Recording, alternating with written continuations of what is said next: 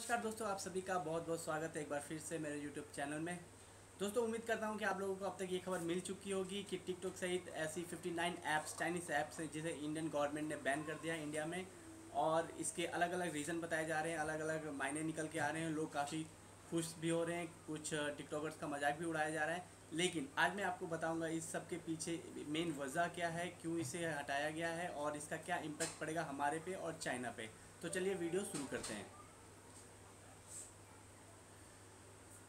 तो सबसे पहले बात करते हैं कि कितनी ऐप और क्यों इसे हटाया गया है और या कहें कि बैन किया गया है। तो टोटल नंबर ऑफ़ ऐप्स जो निकल के आ रही हैं 59 है, जिसमें से कुछ पॉपुलर ऐप्स हैं जो कि इस तरह से हैं। TikTok SHAREit Kwai UC browser Clash of Kings और बहुत सारी बहुत सारी ऐप्स हैं जिन्हें आप जानते हैं और बहुत सी ऐसी भी हैं जिन्हें आप नहीं भी जानते हैं। तो बहुत से लोग जो आप जानते हैं कि टिकटॉक वर्सेस यूट्यूबर्स की लड़ाई हो रही थी, काफ़ी मज़ाक उड़ाया जा रहा है, काफ़ी फ़न किया जा रहा है और काफ़ी लोग खुश हो रहे हैं। खुशी की बात है ही क्योंकि टिकटॉक जो ऐप है, उस पर लोग इतना ज़्यादा कचरा डाल रहे थे और इतना वेस्ट हो रहा था, हमारा यूथ इतना ज़्यादा टाइम स्पेंड कर रहा था, जिससे लोगों को नुकसान तो हो ही रहा था पर्सनली ऊपर से हमारे देश को भी नुकसान हो रहा था, क्योंकि कोई भी आगे चल के बहुत अचीव करने वाला तो नहीं था। हंड्रेड परसेंट और ऊपर से जो अपना टाइम वेस्ट कर रहे हैं, पढ़ाई लिखाई छोड़ के कॉलेज जाना बंद करके कैमरा लेके ट्राईपोर्ट लेके निकल जाते हैं, कहीं गार्डन में टेरिस पे कहीं भी जाके वीडियो बना रहे हैं अनाप शनाप कर रहे हैं। लेकिन दुख लगता है उन लोगों के लिए जो बहुत अच्छा कंटेंट बनाते थे, जो काफ़ी अच्छी नॉलेज देते थे और काफ़ी लोगों को मदद करते थे हेल्प करते थे। हर कोई एक जैसा कंटेंट नहीं बनाता है, इस बात से हम फुली एग्री करते हैं। लेकिन ज़्यादातर मेजोरिटी की बात करें तो वो वेस्ट आइटम ही बनाते थे वेस्ट चीज़ें ही बनाते थे।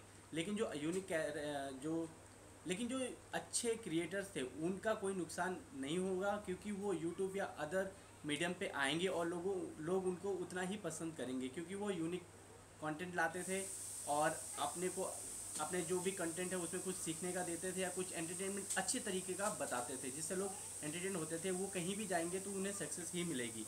लेकिन ये नहीं कि आप कैसा भी मेकअप करके अनाप शनाप आके जानवर को मार रहे हैं या कुछ भी कर रहे हैं और वो उसका वीडियो बना के डाल रहे हैं और वो वायरल हो रहा है फ़ेमस हो रहा है। तो ये बिल्कुल गलत था। इस इसलिए तो मैं काफ़ी खुश हूँ कि टिकटॉक को बैन कर दिया गया है। लोगों का टाइम बचेगा और अच्छे कामों में उसे यूटिलाइज कर सकेंगे।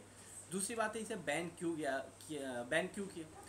दूसरी बात पे आते हैं कि इसे बैन क्यों किया गया है इस टाइम पे। आपको पता है दोस्तों, मैंने अपने पुराने वीडियोस में बताता आया हूँ कि बहुत सारी चाइनीज़ चीज़ों पे बैन किया जा रहा है, लोग डिमांड कर रहे हैं।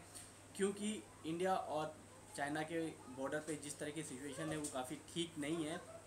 सेंटिमेंट जो है देश में वो भी अच्छा नहीं है चाइना को लेके। तो लोग चाइनीज़ चीज़ों को तो बहिष्कार कर ही रहे हैं। अगर इसमें गवर्नमेंट खुद ही इन्वॉल्व होती है तो ये काफ़ी अच्छे लेवल पे इम्पेक्ट करता है।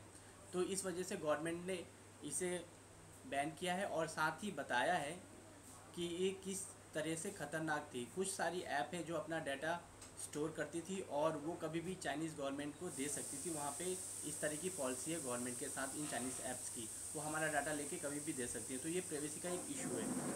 हमारा कोई भी डाटा कैसे भी ले सकता है। हाल के दिनों में एक वीडियो भी वायरल हुआ है ट्विटर पे, जहाँ पे आप देखेंगे कि कोई आईफोन में कुछ टाइप कर रहा है और टिकटॉक बैकग्राउंड में उसका सारा जो भी क्लिपबोर्ड हिस्ट्री है क्लिपबोर्ड है, वो कॉपी कर रहा है। वो एक अलग मैटर है। इस तरह की प्राइवेसी को नुकसान पहुँचा रहा है। और इस टाइम पे जब हमें, और इस टाइम पे जब हमारा और चाइना का ज़्यादा टेंशन है तो इन सबको बैन करना ज़ाहिर सी बात है, उन्हें एक संदेश देना भी है।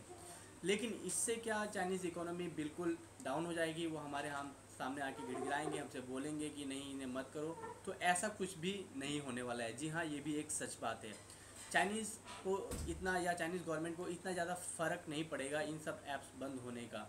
क्योंकि उनके पास बहुत बड़ा मार्केट है, पहले से बहुत सारे लोग इसे यूज़ कर रहे हैं और भी चाइनीज़ ऐप है और हम सिर्फ़ ये ऐप्स के मामले में ही ऐसा नहीं है कि चाइनीज़ चीज़ों का इस्तेमाल करते हैं और भी बहुत सारी चीज़ें यूज़ करते हैं। ये उसका बहुत कम परसेंटेज है तो उन्हें बहुत ज़्यादा फ़र्क पड़ने वाला नहीं है। अगली बात करते हैं कि क्या टिकटॉक या इस तरह की दूसरी ऐप्स वीगो वीडियो और जो भी है, वो सब क्या दोबारा प्ले स्टोर पर आ सकती हैं और फिर से मिल सकते हैं? तो इसकी भी कोई गारंटी नहीं है, आ भी सकते हैं और नहीं भी। जैसा कि आपको पता है, कुछ दिन पहले ही टिकटॉक बैन हुआ था कोर्ट के द्वारा और उसके बाद उन्होंने कहा कि हम सारी टर्म एंड कंडीशन फॉलो कर रहे हैं और उसके बाद वो आ गया। तो हो सकता है फिर से टिकटॉक गवर्नमेंट के पास जाए और बताए कि हम अपना सारा डाटा इंडिया में रखेंगे प्रिवेंट करेंगे अच्छे से और किसी को नहीं देंगे चाइनीज़ गवर्नमेंट को भी नहीं देंगे, कहीं थर्ड पार्टी को भी नहीं देंगे। तो हो सकता है दोबारा भी आ जाए, इसकी कोई गारंटी नहीं है कि परमानेंट चला गया है तो इसमें कुछ कहा नहीं जा सकता है, इस पर आने वाले समय में ही पता चलेगा। लेकिन फ़िलहाल के लिए अच्छा है कि इन्हें हटा दिया गया है, जबकि इस तरह के लोग, लेकिन फ़िलहाल के लिए अच्छा है कि इन्हें हटा दिया गया है, जबकि देश में ऐसी हालत हो रखी है और लोग बिल्कुल भी पसंद नहीं कर रहे हैं चाइनीज़ चीज़ों को। मैं पर्सनली बहुत खुश हूँ कि इस तरह की ऐप खासकर जो टिकटॉक और वीडियो शॉर्ट वीडियो ऐप से जहाँ पे अनाप शनाप चीज़ें बनाई जाती हैं और टाइम वेस्ट किया जाता है, इसे हटा दिया गया है। तो आशा करता हूँ आपको भी बहुत सी ऐप्स की लिस्ट मिल गई होगी, नहीं मिलेगी तो आप यहाँ पे देख सकते हैं। और अगर आपको ये वीडियो पसंद आया तो प्लीज़ इसे लाइक कर दीजिए और मेरे चैनल को कर लीजिए सब्सक्राइब मिलते हैं अगले वीडियो में, तब तक के लिए दोस्तों, जय हिंद, जय भारत।